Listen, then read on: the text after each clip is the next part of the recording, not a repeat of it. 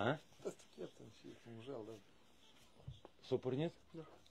Буназио, салут, турор, всем добрый день. Сегодня мы в прямом эфире на новом радио. Полидиск Новое радио.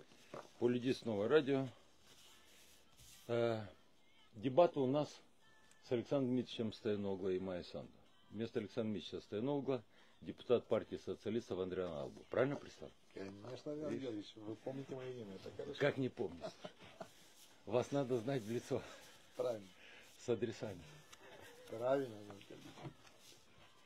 Так, мы начинаем через несколько секунд. Те, кто кому удобно, могут слушать нас на радио. На частотах радиостанции Полидит на шести частотах. А надо или нет? Можно, если хотите. Если вы Нет? привыкли себя слушать, то Не,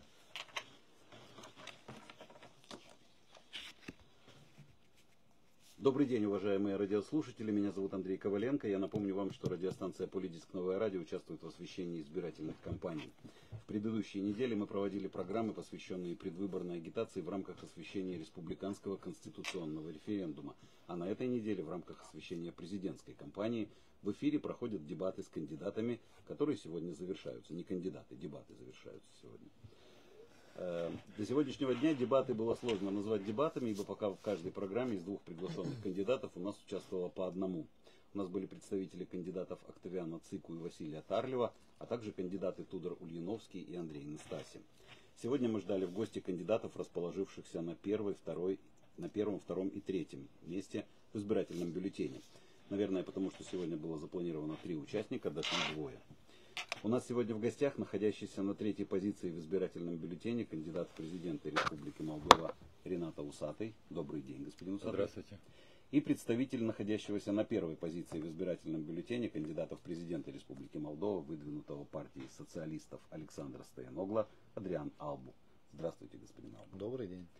Я обязан вас предупредить и попросить вас, как написано в регламенте освещения предвыборной кампании, быть корректными, не дезинформировать, не использовать язык вражды, послания, запрещенные законом и сексистскую лексику.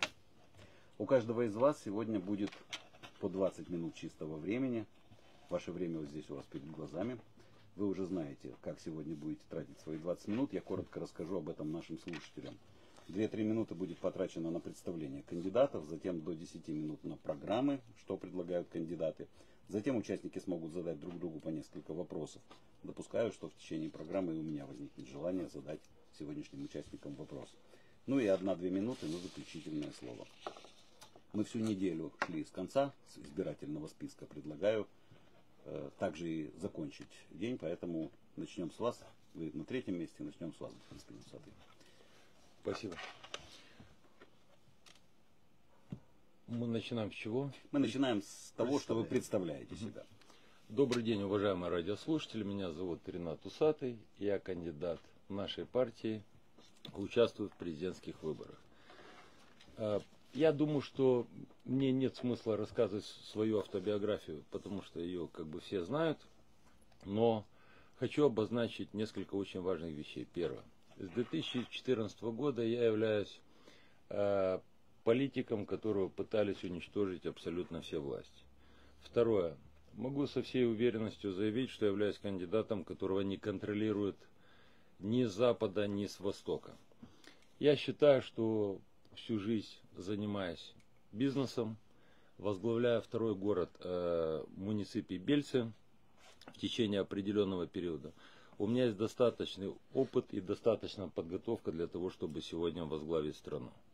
Сегодня наша партия и я, мы единственные, которые не были никогда у власти. Мы не были ни в парламенте, ни в правительстве, ни в президентуре. Я горжусь сегодня нашей командой, основной частью которой являются примары в разных уголках страны, большинство из которых уже возглавляет города и села 12-13 год. А, Кандидаты, примары, которые в основном выигрывают свои выборы с первого тура, это те люди, которые не просто выиграли выборы, а примары в селах и городах. Это именно те профессионалы, которые знают проблемы не только людей в территориях, а также знают все проблемы, связанные с закон- с законодательством нашей страны. Сегодня я считаю, что мы обязаны поломать систему, которая в течение 33 лет блокирует развитие страны и издевается над людьми. Э, неважно, мазутные схемы, газовые схемы, кража миллиарда, либо другие преступления, которые были совершены в стране, они у нас будут и новые, потому что у нас многие чиновники не привыкли к тому, что за преступлением, э, за преступлением должно обязательно последовать наказание. Я являюсь тем политиком, который не выводил деньги из страны, а который страну вкладывал. Выступаю за взвешенную внешнюю политику и всегда старался объединять общество, а не раскалывать его.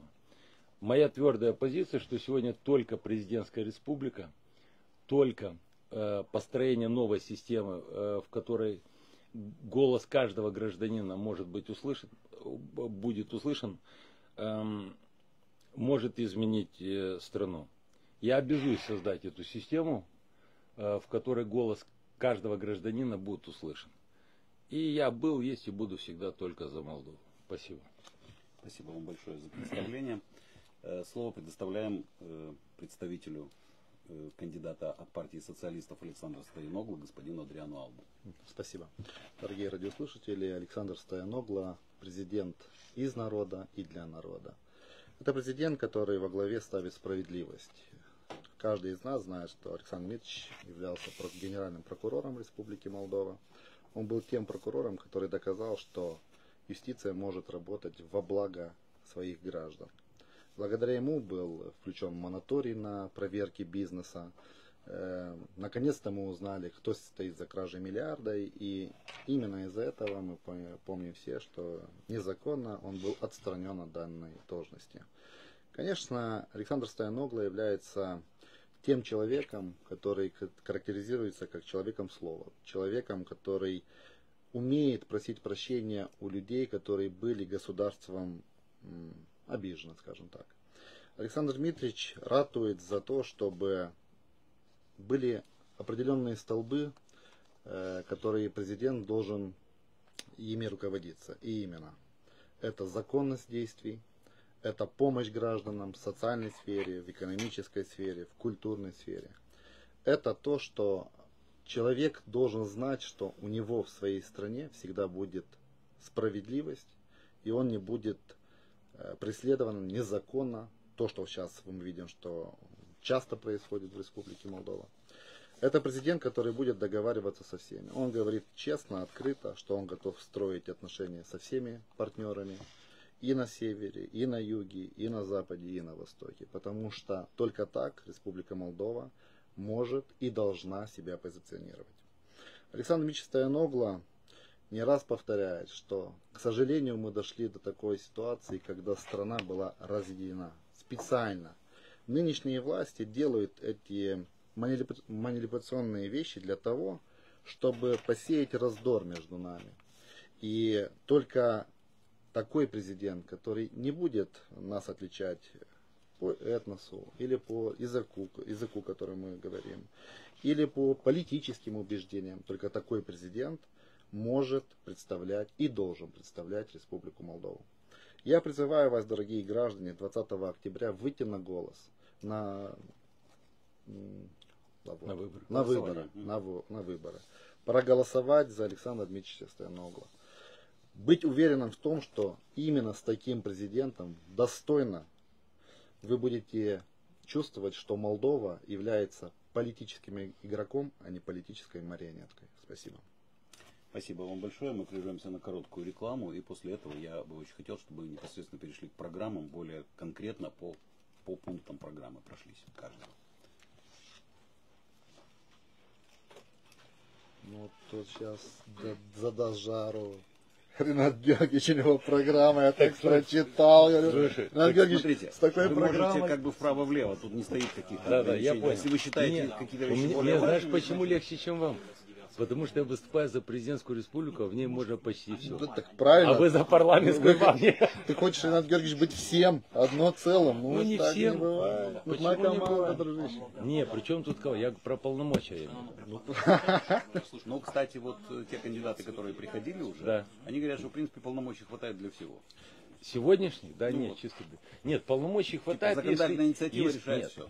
Да не, послушайте, Нет, не хватает, знаете чего? Яиц не хватает, к сожалению. Не-не-не, я не согласен. У нас, э, Все приходят у нас делали на- в стране все, что хотели, когда президент решал. При же когда было большинство. А мы ничего плохого не говорим.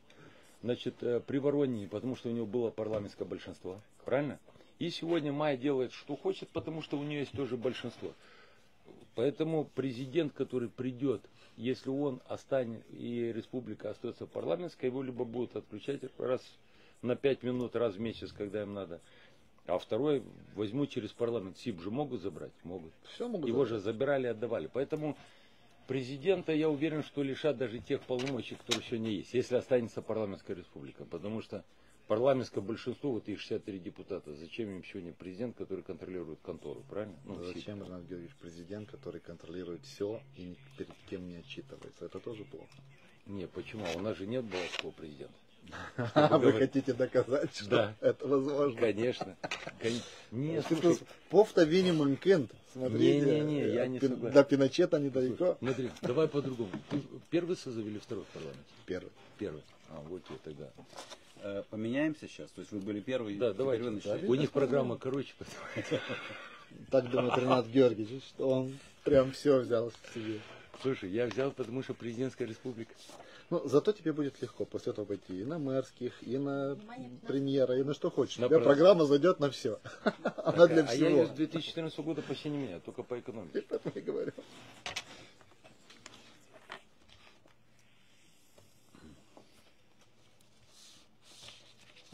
Мы в Фейсбуке, да? Мы везде, Ренат Георгиевич. Есть народ в Фейсбуке в ТикТоке? Мы, воз- мы возвращаемся в студию, где проходят дебаты кандидатов в президенты Республики Молдова. Я напоминаю, что у нас сегодня в гостях находящийся на третьей позиции в избирательном бюллетене кандидат в президенты Рената Усатый и представитель находящегося на первой позиции в избирательном бюллетене кандидата в президенты выдвинутого партии социалистов Александра Стояногла Адриан Алму. Э, Переходим э, ближе к программам кандидатов и поменяемся теперь местами. Я предоставляю слово господину Алму. Спасибо огромное. Э, Знаете, программы кандидатов обычно, они такие всеобъемлющие. У каждого кандидата, если прочесть программу, они часто повторяются. Почему? Потому что, ну, все же знают, что нужно народу, но, к сожалению, не все, когда приходят у власти, это делают. Несмотря на это, Александр Дмитриевич, программа очень лаконична и очень э, понятна всем. Она держится на трех столпах. Это во-первых, э, во пе- во первой очереди, как надо э, депопуляцию в Молдове сократить. Потому что мы знаем, одной из главных, главнейших проблем нынешней ситуации это депопуляция. Э, молодые люди уходят. Мы видим, что некому работать. К сожалению, остаются только пожилые, а их, о них надо заботиться. Поэтому э, Александр Мич сказал, что одни из первых проектов, с которыми он выйдет, это будет именно связано и законодательные проекты в этой сфере. Как привести обратно людей, какие им дать льготы, какие им дать перспективы. Потому что иначе Молдова рискует быть в лучшем случае на той же э, уровне 2 миллиона людей, которые мы сейчас есть. А в худшем это то, что мы останемся без наших сограждан и с лагерями беженцев. Потому что мы видим уже начинается часто в Европейском Союзе говорить о том, что пора на границе Евросоюза создавать вот такие лагеря. Поэтому мы будем работать в плане э, прогноза, как депопуляцию снизить на максимум. Одна из вторых задач это, конечно же, развитие Молдовы в экономическом плане, в социальном, в культурном плане. Э, Благо за спиной Александра Митча целая команда людей, которые имеют опыт. Мы умеем писать законопроекты, мы часто отстаивали права пенсионеров, э, слабо, им, семей дефаворизации, да. Э, мы уязвимых да, семей. Мы всегда за то, чтобы каждый гражданин Республики Молдова знал, что есть законы, которые будут все сферы деятельности э, регламентировать. Потому что основа у нас закона как-то получается очень лак- лакунарная. Да? Много возможностей для э, я так говорю, шустрых ребят, особенно которые сейчас в правительстве, мы видим, есть там определенные э, так скажем так, министр, который прям задает жар всей стране, а себе набивает карманы. Э, и мы будем, конечно, работать в этом направлении. У нас много социальных программ, социальных проектов. Мы уже представили такие проекты, как в поддержку пенсионеров. Мы всегда ратуем за то, чтобы повышать пенсии. Мы ратуем за то, чтобы индексация была согласно закону, а не как сделали нынешнее правительство. Вы, если помните, было индексировано в два раза меньше. Мы, у нас есть проекты для инвалидов, для э, малоимущих семьях. Поэтому это второй столб, на который мы всегда будем опираться. И не меньше важно, это нейтральность нашей страны. Это как наша страна будет видна в этом плане на международном уровне. Потому что снова, к сожалению, рядом с Республикой Молдова у нас есть война.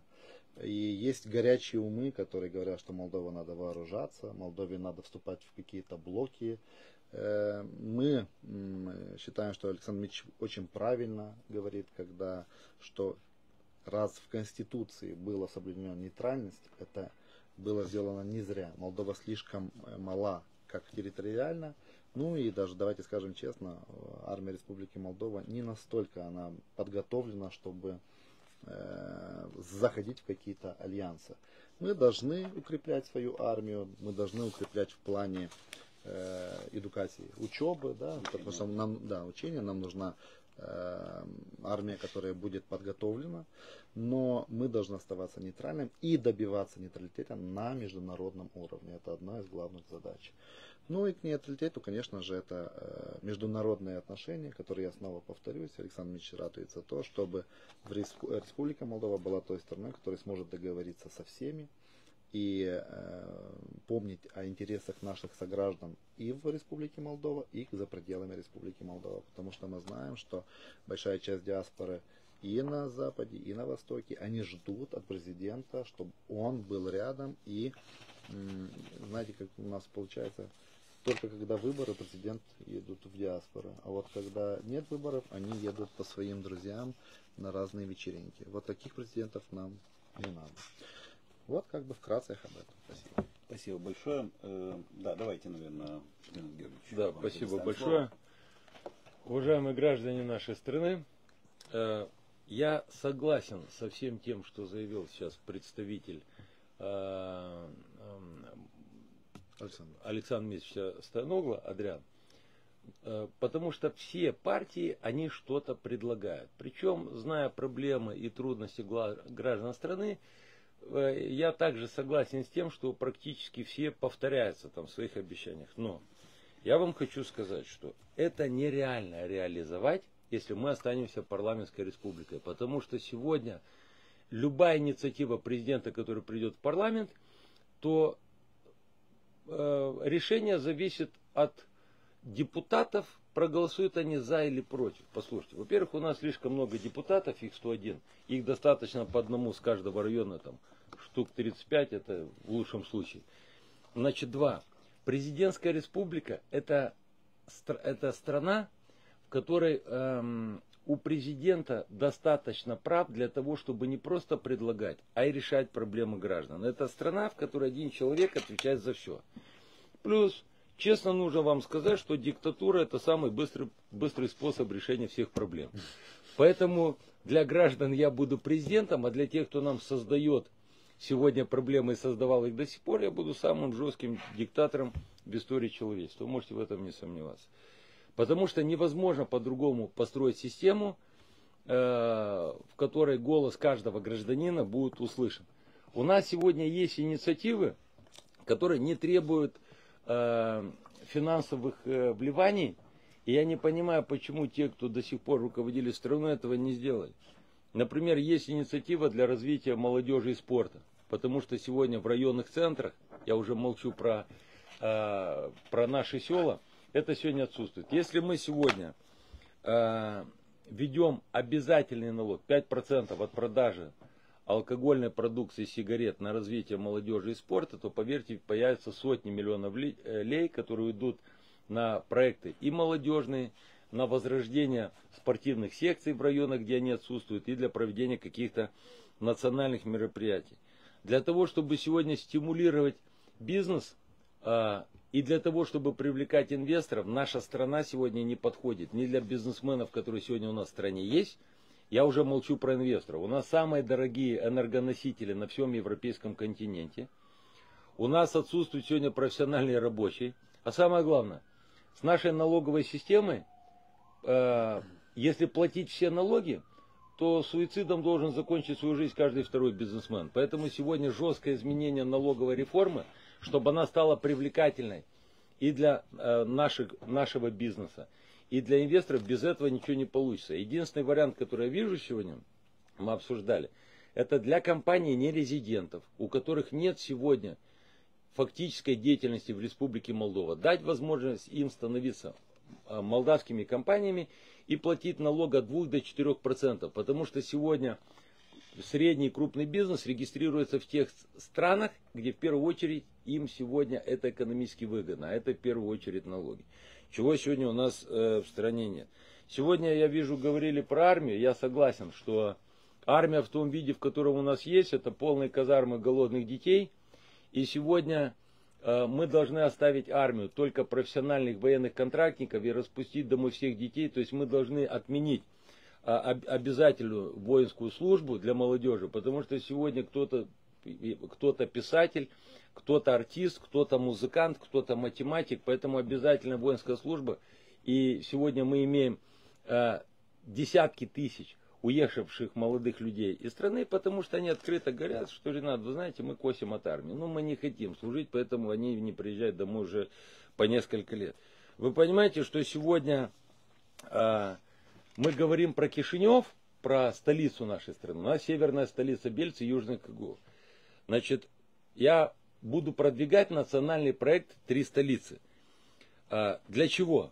Потому что если сегодня мы не создадим для начала визитную карточку, а визитная карточка любой страницы это столица, столица страны, северная и южная, мы должны обратить внимание, первое, на развитие инфраструктуры наших э, столиц, и два, для того, чтобы примары были услышанными, нужно признать, когда-то была хорошая практика. Примар Кишинева был членом правительства, который не зависел от э, сотен писем, которые он писал там в министерство с утра до вечера все в футболе, и он мог каждую неделю. Поэтому я предлагаю, чтобы примар Кишинева, Бельц и Кагула стали членами правительства для того, чтобы задать, э, не просто задать тон, а чтобы участвовать э, в, вместе с правительством работать плечом к плечу для развития наших регионов.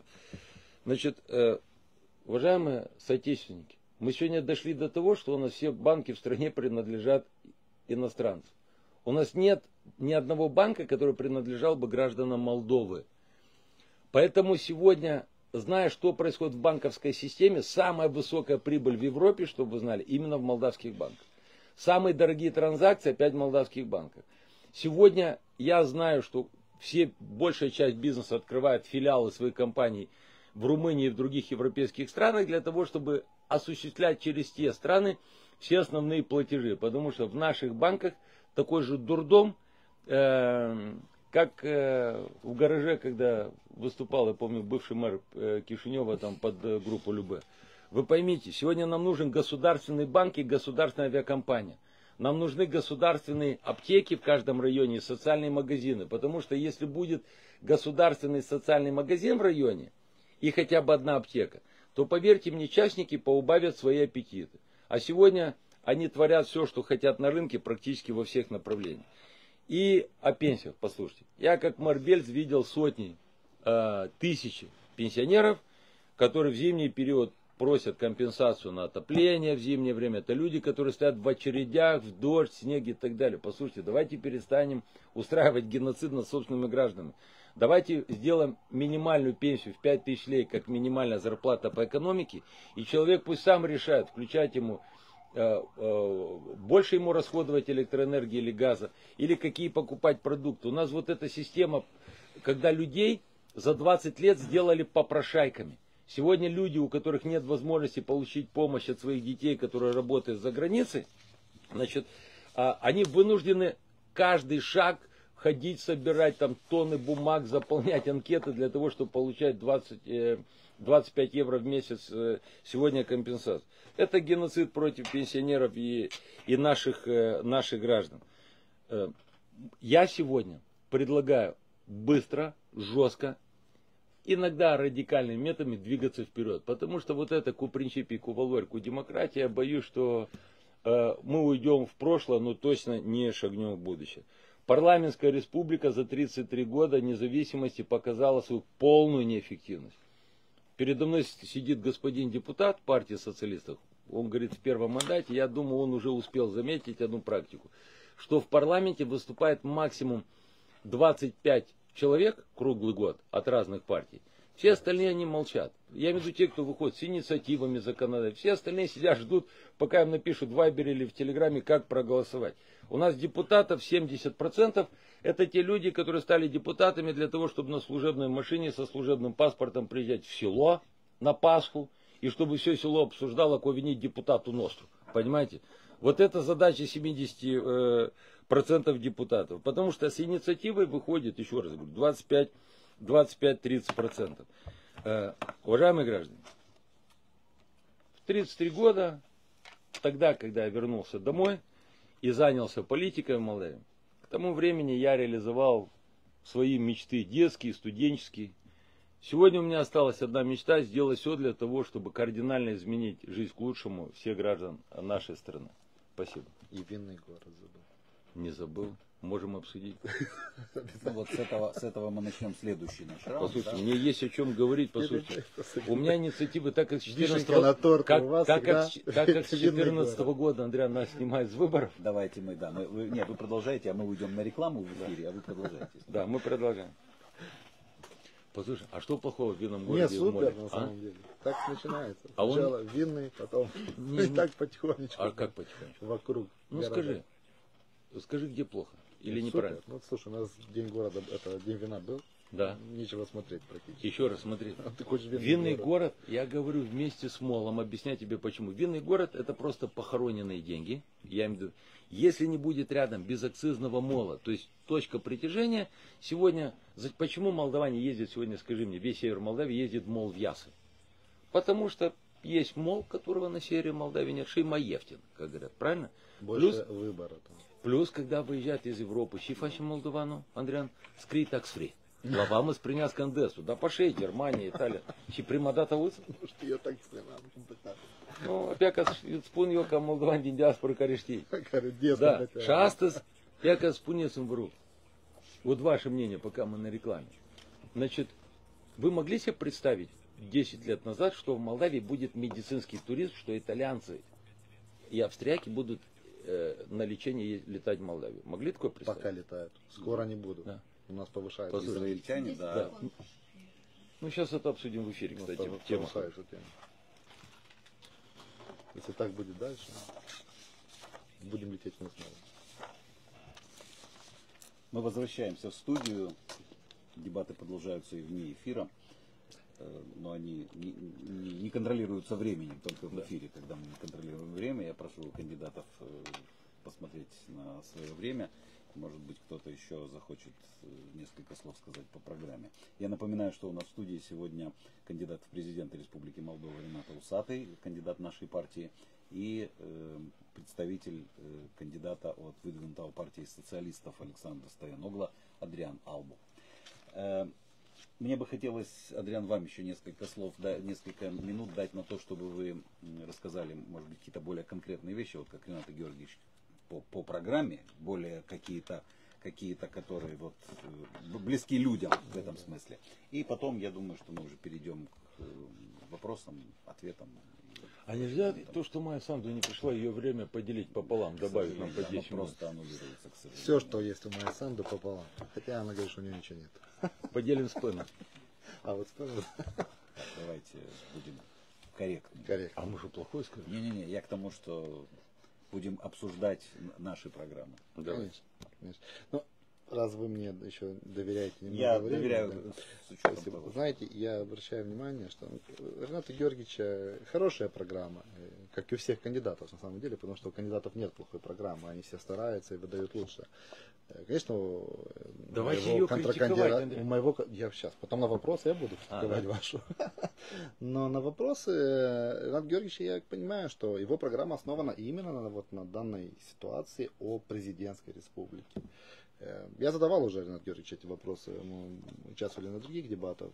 Сложно сделать такой, э, так поменять кардинальную сторону тогда, когда тебе нужно даже после референдума пройти это снова через парламент и иметь 67 голосов. Это, без, Или 100 тысяч человек на улице, тоже надежный вариант. Надежнее, чем 67 депутатов. Возможно, Ренат Георгиевич, только мы мирные люди с вами. Мы Не, понимаем, да, что мирные, но через, если придешь через, тот, через протесты и станешь э, президентом, который будешь э, держать все в руках, ну, навряд ли это будет истинное президентство. Нет, это Андрей, будет скорее- Если люди голосуют за президентскую республику и усатый выигрывает, значит люди хотят президентскую республику, я им ее дам. А выслушивать то, что не хотят проголосовать часть депутатов из оппозиции и часть депутатов власти, вот эту лирику я точно слушать не буду. Ну, Я достаточно совершил ошибок в политике. Мне очень... И, не- поэтому сегодня, ну, мне если очень- хочешь что-то делать, надо идти до конца. Согласен. Мне очень понравилось, как вы сказали, я буду э, для граждан, гражданов президентов, а для других э, Диктатором. диктатором. Да? Но, но сейчас же та же ситуация. Майя Санду для своих президента, для других она диктатор на самом Она, деле. она президент только для своих членов партии и для своих депутатов. И она правильно. себе это позволяет, потому что у нее, У нее есть большинство. полный контроль. И на самом деле сейчас, не, хотим мы это или не хотим, мы сейчас в такой ситуации, когда наша страна хоть и парламентская, а выходит, что и президентская, потому что од- один человек диктует все. И мы видим, что нет в этом хорошего Да, но когда ей выгодно, она говорит, что это я, а когда она попадает в штангу, она говорит, это не я, это правительство, это парламентское большинство. И, Ну, а мне что треба. Так Согласен. происходит. И тут есть, и тут есть. Да, поэтому момент. так тоже не. Мы, конечно, э, поддерживаем э, то, что в Молдове сейчас все хорошо на уровне легислативном, то есть мы правильно идем парламентской стороной. Мы, я очень э, хорошо подмечено Ренат Георгиевичем то, что, к сожалению, в парламенте нет той консистентной массы, скажем так, которая при- принесла больше возможностей для Молдовы. Да, мы видим, что парламенте какая-то машина дево, да, все поднимают руки и все. Мало кто старается приходить с законопро- законопроектами э, и так далее. Я, к примеру, удивлен тем, что я зарегистрировал законопро- закон- законопроекты для, для пенсионеров, для матерей, с, э, которые имеют дети на Лакрештере, да, Э, и они, пасовцы, они просто их морозят. Я не понимаю, почему они это делают. То есть я когда спрашиваю, ребята, вы в парламенте одни идеологические проекты голосуете, а то, что есть по социалке, по экономическим составляющим, кроме кредитов, которые снова, э, даже в предвыборной программе, вот если вернуться к программе, Александр Ильич говорит, что кредиты, они хороши, но их надо негациировать на наших условиях. Это раз. Два, их не надо брать только с одной стороны, потому что ты садишься на финансовой игре одной, в одну сторону. Ты должен обсуждать со всеми партнерами, посмотреть там, где выгоднее Республики Молдова, посмотреть, если эти кредиты берутся для развития экономики, а не для проедания то, что делается сегодня. Потому что сегодня мы видим, что То все кредиты, 33 года которые берут, прям. Большая часть денег они Согласен. проелись. Вот вчера нам объявили, что дадут миллиард восемьсот да, э, снова на якобы развитие Молдовы. Но мы же до сих пор уже имеем 2 миллиарда со слов э, Мажейкиса и всех других. Где эти деньги? Почему не было развития до сих пор? Элементарный избирательный подкуп. И мы считаем, что этому не должно иметь быть. Поэтому, если снова повторяясь о программе, э, программы, они должны быть точечными. Когда говоришь очень много всеобъемлемо, особенно в нынешних условиях, когда президент является высшим э, верховным руководителем армии и представителем страны на международном уровне. Дает грамоты и медали. Тогда- Я не хочу быть таким президентом. Таким президентом пусть Чтобы не идет быть ваш. таким, таким, чтобы не быть таким президентом, надо знать закон и надо э, парламент добивать через законопроекты. И надо иметь Не надо за собой парламент. сильную команду. Поэтому, Адриан, Георгиевич, зачем нам 101 депутат? Ну вы же... Не, я не говорю за номер депутата. Да, то есть сегодня Номер по одному депутатов- депутату от каждого, номер а это тоже. мы Так же, можем- как нам не нужны районные советы. Вы понимаете, сегодня куда ни копнешь, у нас на 2 миллиона начальников, на 2 миллиона населения, там 300 тысяч начальников в стране. Понимаете?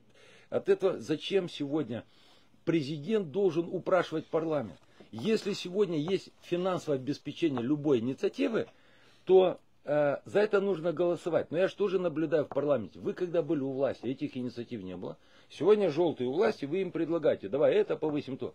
Ну, финансовое обеспечение. Почему вот каждый пункт из моей программы, я вам скажу, откуда мы его закроем. Понимаете, вот сегодня элементарный пример, это считали экономисты, не я, Андрей. Как, если сегодня сделать дешевле растаможку на 30-50% автомобилей в стране, то денег в бюджете будет больше. У нас сегодня миллион граждан имеют автомобили за рубежом, они зарегистрированы в Румынии, в Германии, где угодно. Раньше у нас пол Европы и пол России было на молдавских номерах, потому что растаможка в Молдавии была в два раза дешевле. И есть четкий пример. Вспомните, когда пол страны ездила на машинах, зарегистрированных в Тирасполе. Из-за любви к Смирнову? Нет. Из-за того, что растаможка в Тирасполе была дешевле. Понимаете, это вот четкий пример. Поэтому сегодня я хочу, чтобы приграничные города уезды Румынии, ездили они на молдавских номерах. Они как у нас сегодня? Унгены, Фалешты, Скуляны, Кагул, посмотрите, больше румынских номеров, чем молдавских. Потому что дешевле, Андриан, они из-за этого ездят. Ну, они... есть, есть винета, есть другое, так что тут сложно говорить. Причем тут винета? Нет, за Румынию, вот, нет, в Европу нам, ты можешь ехать на молдавской машине. 365 дней, выехать на минуту, там нет ограничений, как у нас, 6 да, месяцев. Я, я хочу только вот э, снова по районам. Вы говорите, что надо убирать э, районный совет. Районные советы. Ну, тут сложно сказать, потому что оставится снова маленькие церкви в каждом районе и будет делать, что захочет. Нет, не будет. Он будет под президентом. Нет, понял. неправильно. Нет, Андриан, вот сегодня есть примар от партии социалистов города Бричаны, чтобы не уходить примар от нашей партии. Так? Угу. Что происходит? Ликвидируется районный совет, Потому что это шайка, которая сидит, в одни села дают все, в другие не дают ничего. Вот так у нас 33 года. Все села Бричанского района становятся... И что дается? Послушайте, ну дайте договорить. Все э, села района Бричень становятся частью муниципия Бричень.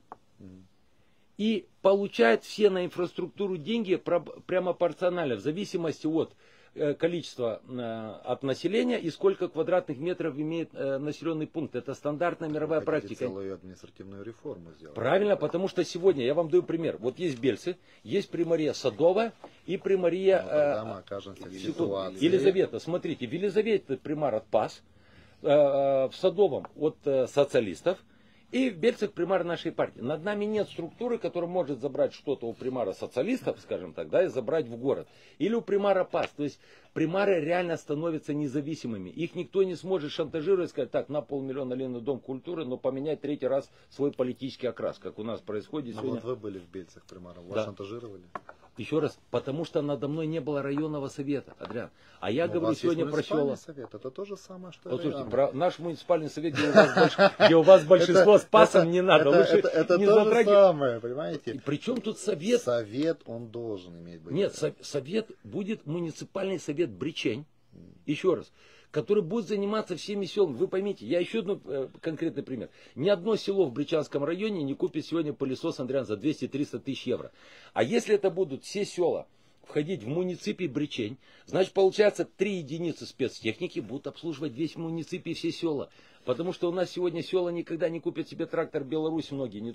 Андриан, я это считал все, вы поймите, я готов с вами обсуждать. Мы обсудим с вами, но просто... Но экономятся деньги, сотни миллионов лей, опять вот это районный совет, это чистый рэкет, который сегодня в некоторых районах два вице-председателя района, а в некоторых, если четыре партии создали коалицию, то четыре вице-председателя района. Ну, чистый идиотизм. Почему понимаете? есть районный совет? Ну, мы сейчас переходим уже в другую ну, я, я думаю, что мы уже перешли да, к вопросам, вопросам, Но вопросам это, это, мы дискутируем. Это, да, да, это для думаю, того, чтобы в совете заходят э, экспоненты разных сел, да, разных да. местностей. Они знают свои проблемы, они знают, как бороться за них. Если мы это уберем, это будет, когда э, total latitudinal все будет решать, вот как предлагает. Э, Нет, в муниципальном кандидат. совете они будут. Мы исключаем районный совет как структуру организации, которая Если не вы нужна. говорите, чтобы снять вообще районный совет и оставить только муниципальный совет, как бы в одном да, административном да. округе, тогда будет еще более сложная ситуация, потому что в данном случае придется, верьте, не верьте, придется закрывать много школ и больниц. Кстати, я видел у вас в программе есть такой да. интересный пункт на эдукации, да, на да вы пишете оптимизация высших учебных заведений стран, сокращение количества вузов за счет тех, которые не отвечают соответствующим да. требованиям. Ну, мы и так уже остались. Нет, послушайте, без, я говорю, что нужно вернуть аграрную академию. Когда это писал Андрей? Это не оптимизация. Послушайте, вы взяли, вы взяли... Я взял вашу программу. Какого года? Который вот, Ну, мне- посмотрите, в 2014 году вы взяли. Я знаю этот Нет, у вас уже вы говорите, у вас же вы сами Не, ну, признали, послушайте, что программа ну, то ну, же самое. а, Нет, ну, Адриан, Только ну, вы Адриан, один В 2014 году у нас было куча левых частных университетов, помоек, и я это открыто говорю. Потому что вместо, я говорю, нам, мы обязаны сохранить политех, госуниверситет, Тестиницану, мы обязаны вернуть аграрную. Но когда я увидел, что количество частных, частных вузов росло в 2014 году, а у нас не открывались эм, учили, среднее техническое образование, чтобы производить квалифицированных рабочих, поэтому я это сказал. И я осуждал количество этих всяких непонятных филиалов вузов, когда у нас есть достойный госуниверситет и в Бельцах. Ренат Георгиевич, я с вами временем не поделюсь, дайте Да. еще задам вопрос Да, интересный. Давайте, пожалуйста. Тоже я понимаю структуру вашей Да. программы именно из того, что вы говорите за президентскую Не, не, так вы не смотрите про 2014 год, потому что в 2014 году вы- ваша партия выступала за таможенный союз, понимаете? Это- И вы это- осуждали это не мать. 14 год, это сейчас. Андриан, ну, Ну, вы мне... то, что вот мне коллега передал вашу программу, я ее взял.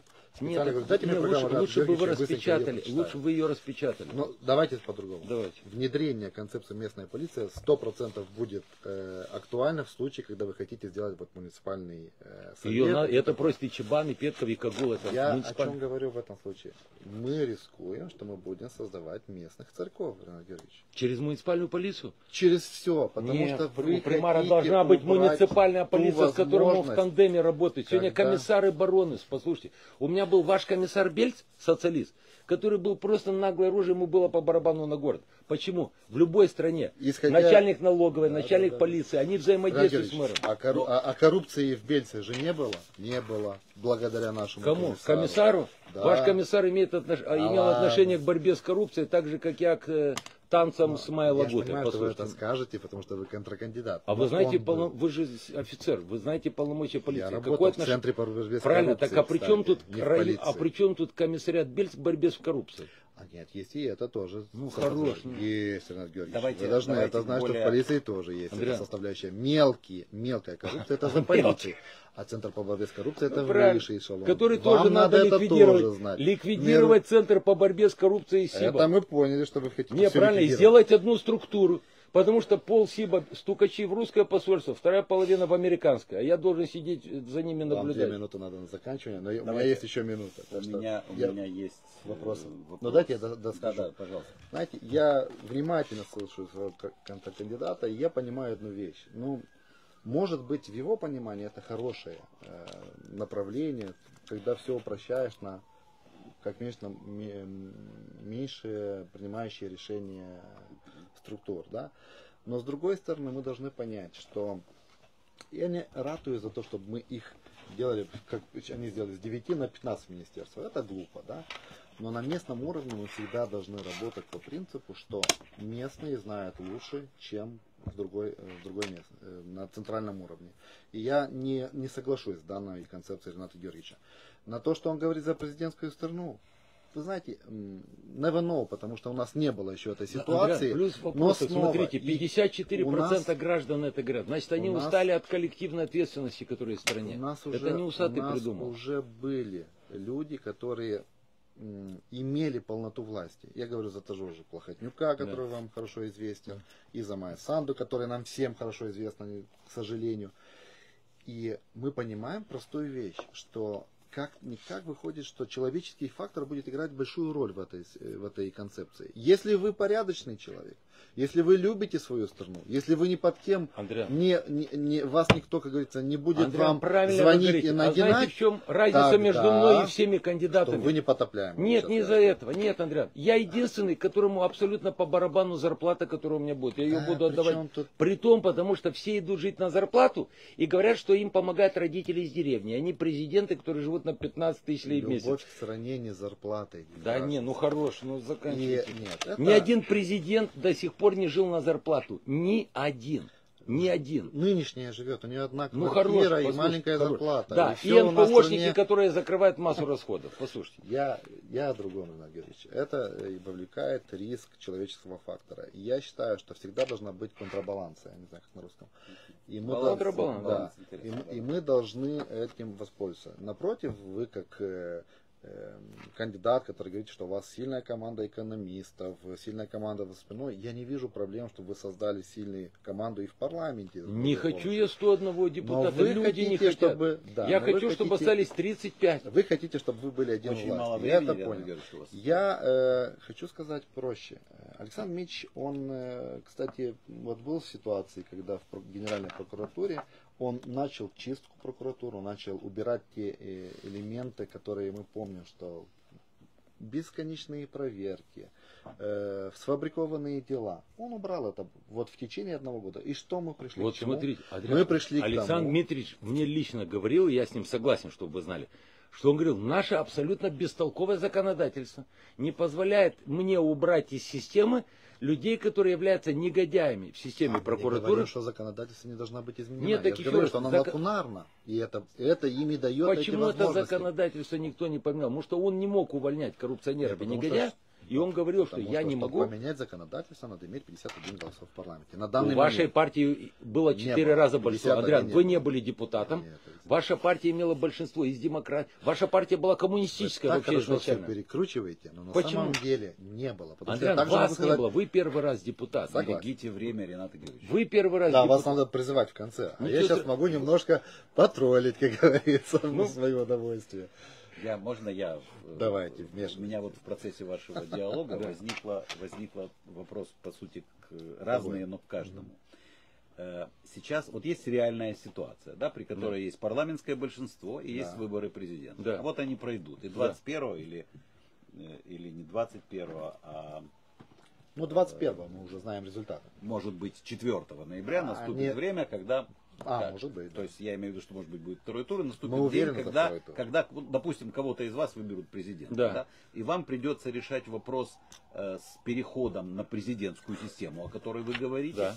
а вам придется решать вопрос сотрудничества с парламентским большинством, которое не президентское.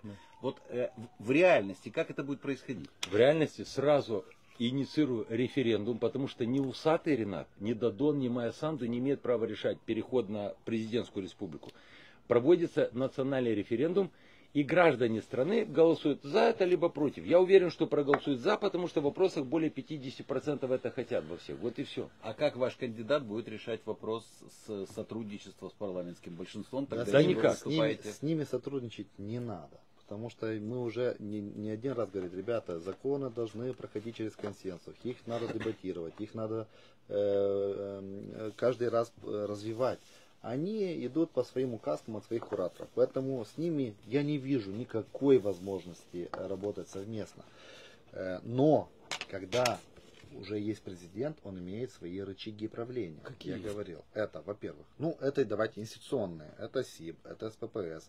Это возможность направлять в... Причем тут СИБА с э, ПП там- с пенсиями к Да, экономике? подождите Дадон немножко. сколько раз хотел что-то сделать, Дело его в том, что пока на у 5 тебя минут. нет Большинства. Вот, нет. Пока у тебя, э, пока большинство знает, что у них подконтрольны все структуры, они не боятся голосовать даже законы, нарушая Конституцию. То, что они уже доказали не один раз, Ренат Георгиевич. И вы это знаете. Поэтому я и говорю, президент имеет институционное воз- воздействие, потом он имеет возможность через законодательные проекты, и имея уже команду внутри парламента, он может настоять на определенные Послушайте, законопроекты. есть сегодня эффективность. Другой, Половина полномочий Путина, половина Макрона и половина президента США и погнали. Ребят, это Ренат сегодня в мире вы есть. меня не слышите, вы хотите всю страну услышать один. Вот почему вам Послушайте, нужно большинство. Дайте я Послушайте, Вы договорю. депутат, который вы как раз слушать не надо. Вас надо там проредить ряды. Оляк, иди рарит Ну, рендеры. ладно, это Давайте. р- все ребята, и когда приходят ко власти, хотят все больше своих. Мы это тоже знаем, но это, это о другом. Э, на ваш вопрос отвечаю. Надо э, иметь сильного президента, который будет своими возможностями и командой в парламенте добиваться справедливости для каждого из нас. То есть всё. Невозможно. Технические моменты. Более невозможно запустить референдум, который потом в парламенте не будет проголосован. А я И хочу если- увидеть, как вы и другие депутаты не проголосуют. Так Вы мы про- то- только Я вам- мы и проголосуем. Адриан, а, ши- я вам а скажу, что 67 проголосует, не нет, будет. проголосует 101 депутат, даже если они не знают, что они проголосуют. Я это беру на себя обеспечить. Подкуп. У нас время, зачем время подкуп? Шантаж. Зачем шантаж? Ха, Ваша улыбка, Ренат Георгиевич. да? У нас время потихоньку подходит к концу. Я зацеплюсь за слово референдум. По, по регламенту освещения предвыборной кампании дебаты на президент, о президентских выборах, мы, в принципе, какую-то их часть можем потратить на то, чтобы обсудить вопрос проведения референдума. Мы не на самом деле времени как нет. участники. Ну, я могу сказать про референдум. Я имею в виду, может быть, как Говори ты, у тебя на 38 секунд больше. Да, Хорошо, да. тогда вы Ренат- можете 56 свои оставить для Ренат, Ренат Георгиевич правильно говорит, что мы не, мы не зарегистрированы как участники, так что мы не будем гов- гов- говорить за опцию. Но за нас сказал Мажейкис, который сказал, что, ребята, этот референдум не имеет никакого значения. Что вы там проголосуете? Вот и все. Окей, э, осталось буквально по минута, минута 27 для того, чтобы заключительное слово сказать свое нашим слушателям. Давайте первый Адриан Албу, чтобы Конечно. люди не запомнили то, что он скажет. Ну, я согласен быть первым, потому что мы первыми и выйдем в эту гонку с Александром Митчем. А, как говорится, Ренат Георгиевич, вам желаю то же место, что и в бюллетене. По-дружески. Смотри, какие они наглые. Ну, наверное, Но- вы с вариантом того, что он все-таки за, за вас во втором туре. Нет, да, ну, если- Нет, с вариантом, с вариантом таким же будет штанга у них во втором. Дорогие, ну, я люблю шутить.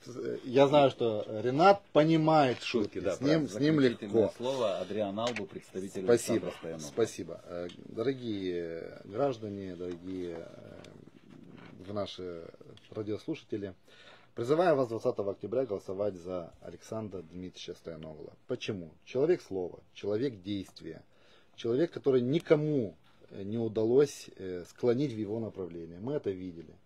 Это человек, который прислушивается к людям. Он ходит э, и встречается с каждым из вас. Он слышит ваши проблемы, и он уже готов их решить, потому что он подготовил сет законодательных проектов. Это человек, который нашу страну выведет на другой уровень в международном плане. Он будет показывать настоящие э, эквидистантную э, работу со всеми партнерами. Александр Дмитриевич Стояногло это тот человек, который имеет за собой сильную команду. Он человек, который доказал не раз, что у него во главе это закон. Закон, который должен быть для всех из нас. Поэтому дв- э, 20 октября призываю вас, дорогие радиослушающие, проголосовать за Александра Дмитриевича Стоянокла. Номер один. Спасибо. Спасибо большое. Оставили себе две секунды, чтобы закончить все-таки вам. да? Сказать спасибо. Андрей. Э, Не, пусть ре- скажет Кандидат в президенты Республики Молдова Ренат Гусак. Хочешь подколоть? Да. А, уважаемые граждане Республики Молдова, я Ренат Усатый еще раз пытаюсь вас убедить, что Молдове нужен президент, который будет отвечать за все, что происходит в стране. Президент, который будет руководствоваться только национальными интересами Республики Молдова. Я буду продвигать только вектор национального развития нашей страны. Да, я хочу, чтобы сегодня все родители, все дети в стране жили хотя бы так, как живут сегодня мои родители и дети, потому что они сегодня ни в чем не нуждаются. Я уверен, что я могу осуществить свою главную мечту, сделать все для того, чтобы люди в нашей стране стали жить лучше. И если вы разрешите, если вы решите, да, я стану президентом, и я осуществлю эту свою последнюю мечту. Те, кто до сих пор говорят, что не выхожу на выборы, разочаровался и так далее, ребят, есть простая пословица. Сгорел сарай, гори и хата. Голосуем за Рената. Точка. Спасибо. Э, Я благодарю участников сегодняшних вам дебатов за спасибо. то, что они Поэт. откликнулись на приглашение и пришли. Спасибо. Человек написал, не я. Сегодня было вдвоем интереснее всегда, чем один. Э, Было бы втроем, тут еще, кто должен был прийти. Это было Я бы напоминаю- очень интересно. Мы бы задавали вопросы только в одну сторону, я, Я уверен. напоминаю слушателям, что ну, ждем второго тура. Я напоминаю слушателям, что у нас сегодня в гостях были кандидат в президенты Республики Молдова Рената Усата и представитель кандидата Александра Стояногла Адриан Албу. Спасибо. Э, На этом дебаты до первого тура завершены. Увидимся, если состоится второй тур, то уже увидимся в рамках дебатов ко второму туру выборов. Спасибо огромное еще раз. Спасибо. Вам большое спасибо, увидимся. Заканчивай свой эфир. Да не, у нас